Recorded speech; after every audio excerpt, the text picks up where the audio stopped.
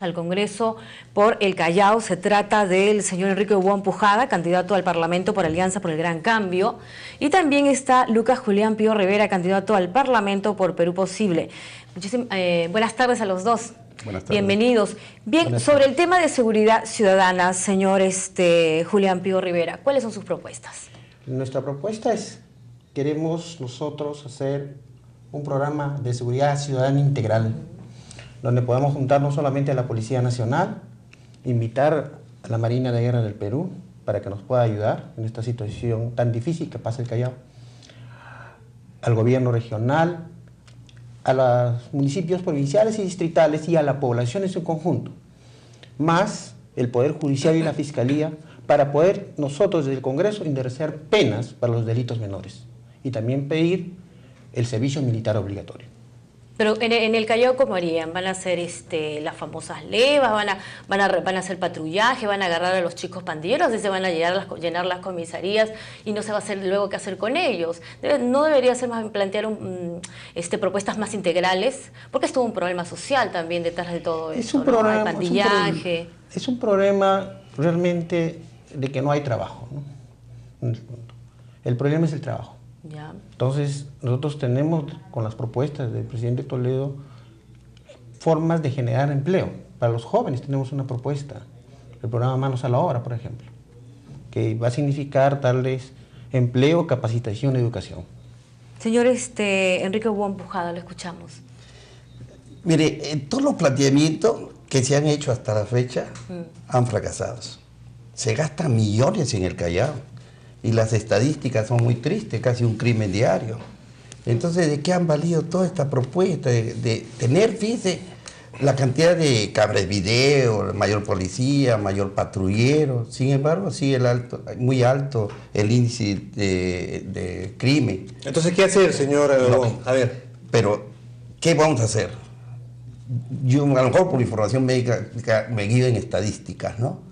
El problema de todo de todos los países que, que comienzan a tener inmigración del interior, del interior de nuestra patria, que van a todas las partes de las ciudades, van a constituir los focos de pobreza, los cordones de miseria, como si en las favelas en Brasil y también este, las aldeas en, Buenos Aires todo. Porque efectivamente lo que falta es puestos de trabajo productivo, porque además a más producción, mayor exportación, menor, este, mayor, eh, se mejora la economía en general. Lo que falta en el Callao es efectivamente hacer inversiones en fábrica. Anteriormente cuando el Callao tenía fábrica en toda la avenida Argentina y en toda la colonial, nos, catalogaban a los chavales como gente alegre, criolla, pero no como actualmente es el índice delincuencial es muy alto. ¿Por qué? Porque se cerraron todas las fábricas y no hay, no hay inversión. De Generación de trabajo entonces para combatir la delincuencia, para sacar a los chicos de la calle. Y el otro problema grande del Callao, ahora que el Perú está creciendo y el Callao también, por supuesto, en materia de exportaciones, es el crecimiento del puerto del Callao. ¿Cuál es la visión que tienen ustedes sobre cómo debe crecer el puerto del Callao y hacia dónde dirigirse? Primer eh, término para ustedes, señor Julián Pío. Nosotros estamos pidiendo eh, construir un nuevo puerto en Ventanilla, Ahí están las, la parte técnica, que ya hay un proyecto que está avanzado y nosotros vamos a pedir justamente la creación y la construcción de ese puerto. ¿Eso tiene el respaldo de Alejandro Toledo? Eh, dentro de las propuestas de mayor inversión, claro que sí. Un nuevo puerto. Así es. Bueno, señor Wong, usted sobre la problemática portuaria. Nosotros que podemos, este, para aumentar nuestra carga, este, poder este, tener mayor movimiento de contenedores, necesitamos hacer una mayor profundización, es decir, gastar en infraestructura del puerto, hacer una mayor profundización para que vengan este, barcos con mayor número de contenedores.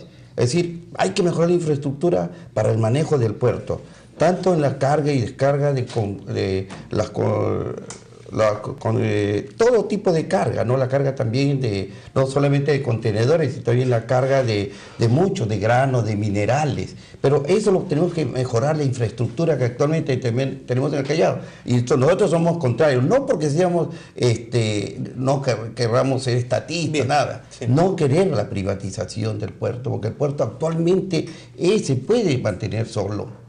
Las inversiones que se quieren hacer, 250 millones, en APU con sus propios recursos lo puede hacer. Y también tendría que tener el apoyo del gobierno regional, porque en todos los países del mundo los gobiernos regionales son los que apoyan eh, para que se desarrollen los puertos, que es la fuente de trabajo del Callao. Muy bien, muchas gracias. Bien, muchas gracias a ambos candidatos y suerte.